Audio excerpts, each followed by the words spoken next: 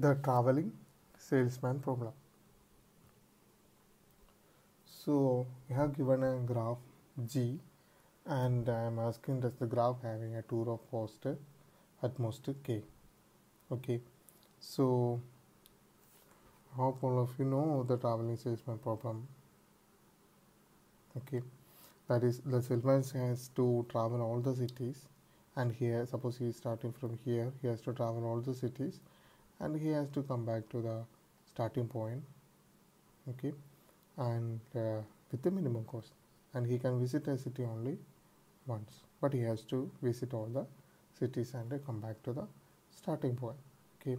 So if you consider this graph you can say this is the minimum cost to true okay from s you go to this vertex from here and like this is the minimum cost to tour of the graph okay. And uh, our problem is uh, we had to find out. Does the graph g has a tour of cost at most k. Okay. So we cannot find this minimum cost tour in polynomial time. Okay. So the traveling salesman problem is a np complete problem. Okay. So we have to prove it. So first we will prove that uh, traveling salesman problem belongs to the class NP. Okay, that is suppose if you are given a sequence of vertices, okay, then uh, we will check whether these vertices belong to the graph. That is whether these uh, vertices form the edges of the graph or not. Okay, and we will compute the total cost of the edges. Okay, and uh, check whether the sum is at most k okay so this verification we can do in polynomial time. Okay? So we can say that the traveling salesman problem is a np problem. Okay? Now we have to prove that the traveling salesman problem is a np hard problem. For that we will reduce the non np hard problem that is hamiltonian cycle problem to the traveling salesman problem. Okay? So the Hamiltonian cycle problem and traveling salesman problem are almost the same. Okay, Hamiltonian cycle means the cycle that contain every vertex of the graph.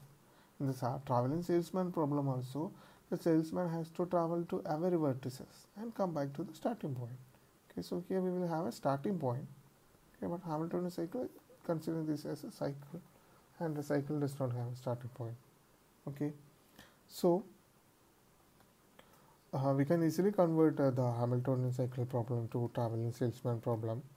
That is, uh, a graph G, let G equal V E be an instance of Hamiltonian cycle. That is, this is an instance of Hamiltonian cycle, not an instance of a graph. Okay, and uh, an instance of traveling salesman problem can be considered from here by adding the edges.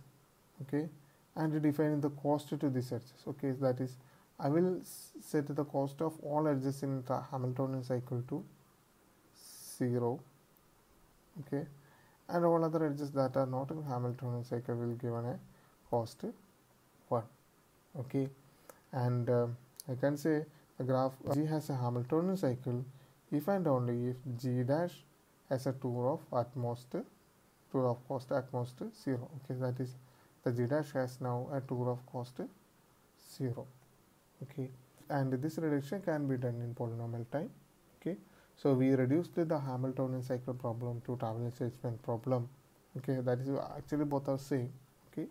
And we know we have already proved that uh, the hamiltonian cycle problem is a np hard problem. So the traveling salesman problem is also an np hard problem. And it is a np problem. We have proved it here. Okay so since traveling salesman problem is both NP hard and NP complete, we can say sorry NP hard and NP we can say this problem is a NP complete problem.